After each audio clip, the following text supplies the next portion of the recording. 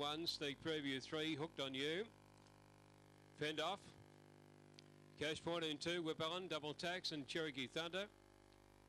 Summer Classic final. Box and set to go. Green light. All ready. Set.